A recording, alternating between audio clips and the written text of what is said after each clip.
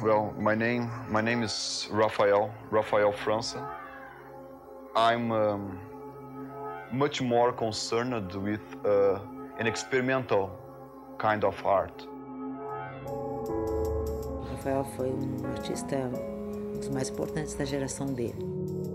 Since I moved to São Paulo, I got start to worry more about uh, technology applied to art.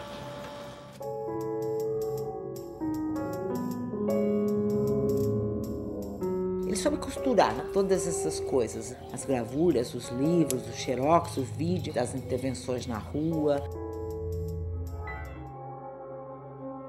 Eu sou morador aqui do bairro Ipiranga.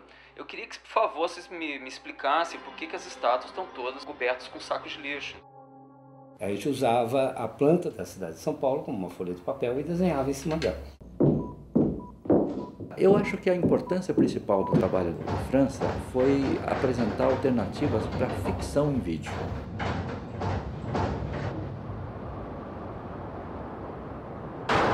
A narrativa foi sempre muito autobiográfica. Essa é uma questão muito séria para ele.